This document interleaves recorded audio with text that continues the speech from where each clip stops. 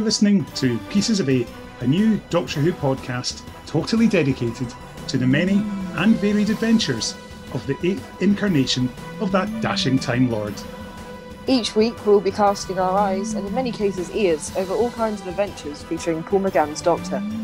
My name's Rebecca Chapman. And I'm Kenny Smith. We're going to be talking all things McGann, whether it's his fleeting appearances on our screens, or his adventures in books, novellas, fullcast audios, short stories, comics, animations, talking books, or anything else. So, Becca, for the benefit of our listeners, why don't you tell them a wee bit about yourself as a Doctor Who fan and how you first discovered our favourite Time Lord? Oh, how I first discovered the. Um, that's a long time ago now, actually. I first discovered him second-handly, actually, back in the days of Tumblr. I had a Doctor Who fandom blog. It was called Pond in the Pandorica, which was topical at the time, obviously. And I had a friend who was in America, and she was obsessed with Big Finish and Paul McGann, and kept telling me that Paul McGann was the best Doctor, and how much she loved him, and all the rest of it. And kept sending me like audio snippets of him. I was like, you know, he sounds really good, but I never got round to actually listening to anything of his, unfortunately. And then, gosh, last year, a couple of years ago, I think it was that I finally went, do you know, I'm going to give this a go and started listening to him. And yeah, he's absolutely fantastic. Yeah. What about you? When did you first discover the uh, Doctor? I'm, uh, as you know, I'm a little bit older than you. I was born in 1974 better tell everybody what year you were born in, Becca. 1995. And there we go. So Becca was just over a year old when the TV movie went out. There we go. I first discovered Doctor Who in 1978 when I used to watch it with my mum. And my first memory is of one of Tom Baker's stories, The Invasion of Time, when the Doctor is collecting a new K9 from his cupboard, having built Mark II and I carried on watching over the years and carried on with the series when it ended in 1989 and then kept reading the new adventures books as they came out in the 90s and then in January 1996 it was all over the papers Doctor Who's coming back in a movie with Paul McGann and Sylvester McCoy as well. And because I'm such a sad person I was working in a newspaper at the time and I contacted the BBC press office and bear in mind, this is pre email days. I got them to fax me the press release confirming that Paul McGann was the doctor. And Brilliant. yeah, and then it, Grace Holloway was originally called Grace Kelly. So there we go, there's a little bit of trivia that's not appeared in many places because I do love my trivia. And the trivia is always good. so I followed the production of it and I went to a convention in Manchester that Easter when the executive producer Philip David Segal was in attendance, a British guy, and he teased the audience with it, played a bit of the theme tune, and showed a few photos, but no clips whatsoever. And everybody was so hyped up and ready for it in the film, going out on TV.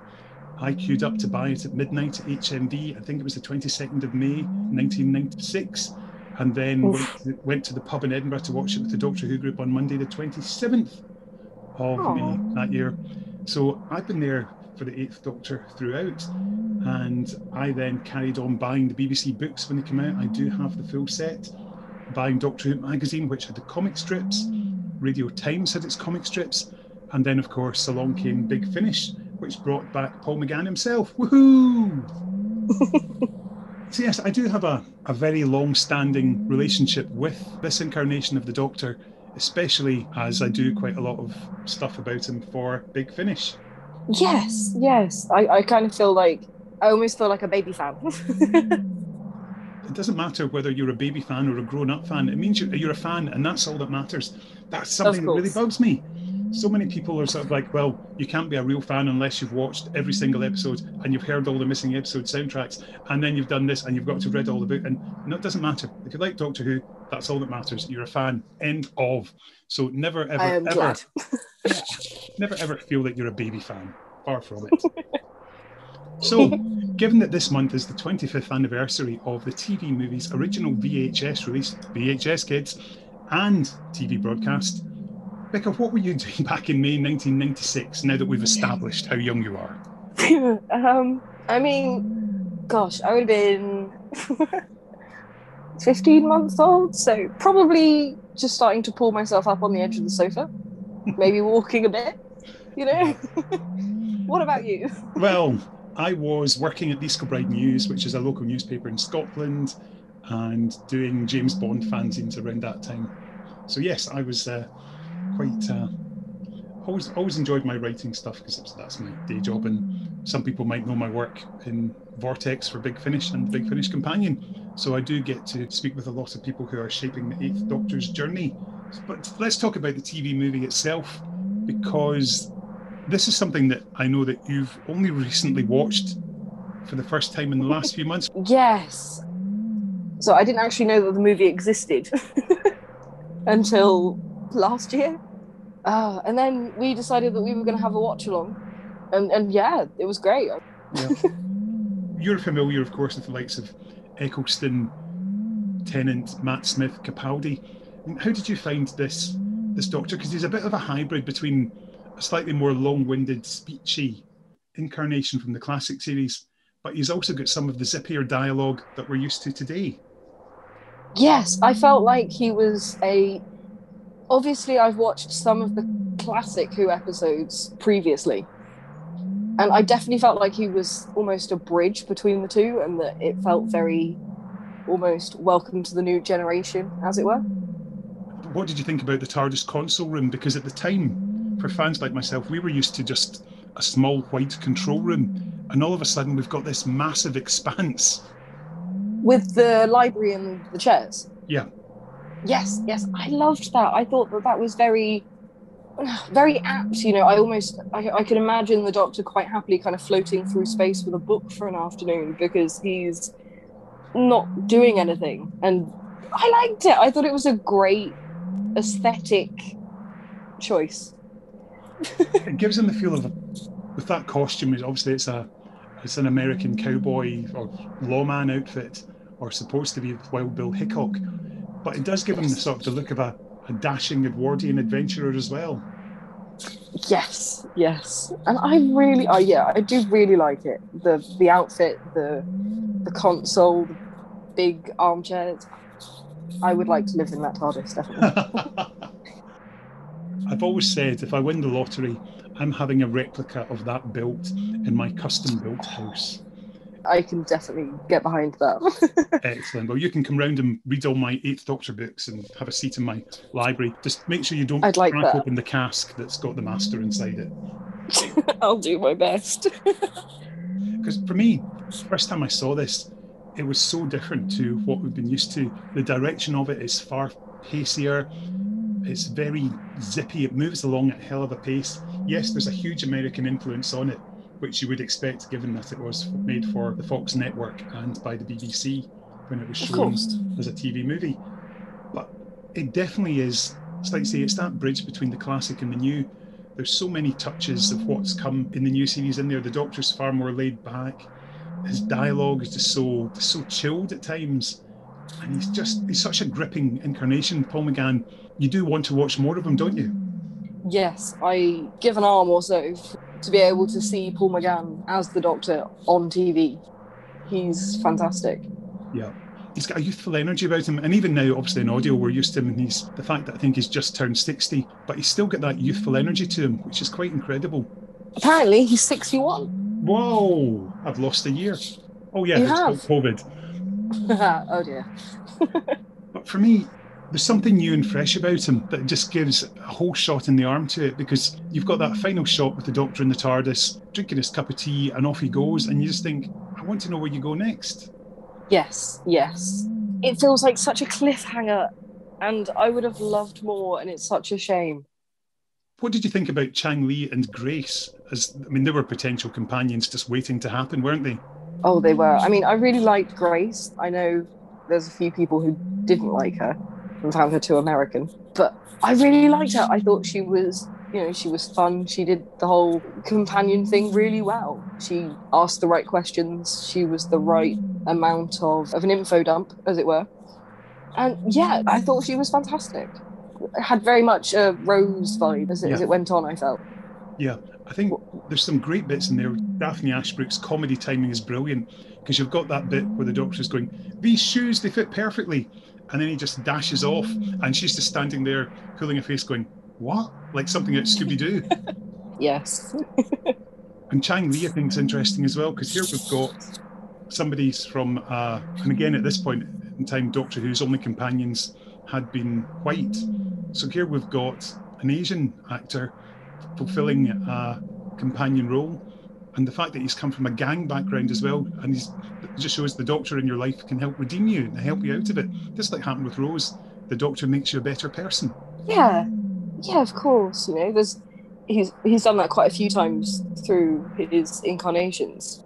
He's a good man. And He's he's a good man to have around. I think. I think also we've got to talk about the master here because you're more used to the likes of our John Simm or indeed Missy and Derek Jacobi. So, what did you think of this slightly mad, over the top, I always dress for the occasion master? I kind of found him a bit like a pantomime villain.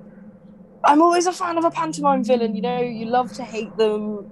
Oh, they're great, you know, he's very over the top, very colourful, very pantomime villain. But I think also he's got, when you've got the fact that he snaps his wife's neck when the master first possesses the body, but he's got a really ruthless hard edge that perhaps other masters are slightly more fluffy about.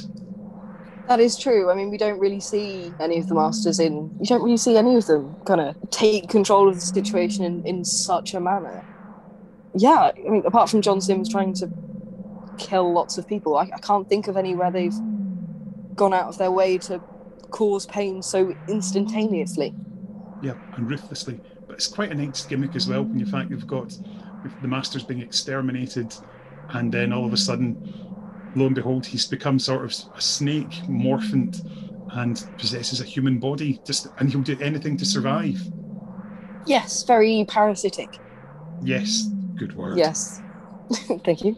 The thing that I was particularly gripped with at the end is when the doctor's been imprisoned and he's got those horrible things keeping his eyes open. And I think that's absolutely horrible. It's very clockwork orange. And it does, it's, again, it's something you wouldn't have got in the classic era. And I don't know if you'd even have got that in the TV series now. It's almost a bit too scary and would give the kids nightmares. I mean, Clockwork Orange still gives me nightmares. So, yeah, I, I don't think that you'd get that now. It was very, ah. But I liked it. I, I thought it was a great addition to almost a, a growing up of the Doctor from this kind of. I, obviously, he wasn't young, his incarnations previously. It definitely felt like it was a growing up step in him and helped him become everyone that he became since. And of course, the thing that it does that was really controversial at the time is, and it's something that happens all the time these days, is the doctor gets to kiss. Yes, I'm, I'm never a fan of that. what, kissing in general I- or kissing the doctor? no, the, the whole doctor kissing thing, I feel like that's ah, it's unnecessary and a bit pandery, and I know that that's bad, but yeah, I'm not a fan. I definitely feel like it's ooh. For me, the first one I think is absolutely fine because he's got his memory back. He's like, yes, it's me. I've got my memory back. Yes. And he kisses the first person who's there. But I think the second one, when Grace says, now do it again, that, um, maybe not quite. exactly. You know, if we were going to kiss anyone, we'd have Tennant and Rose kiss.